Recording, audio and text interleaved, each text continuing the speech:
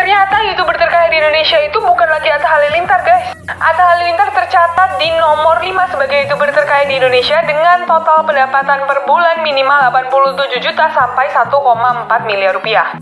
Nomor 4 ada Baim dan Paula yang memiliki pendapatan bulanan minimal 217 juta sampai 3,4 miliar rupiah.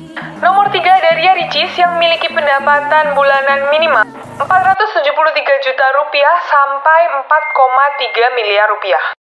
Nomor 2 yaitu Rans Entertainment, Raffi Ahmad dan juga Nagita Slavina yang memiliki pendapatan bulanan minimal 313 juta rupiah sampai 5 miliar rupiah. Gila.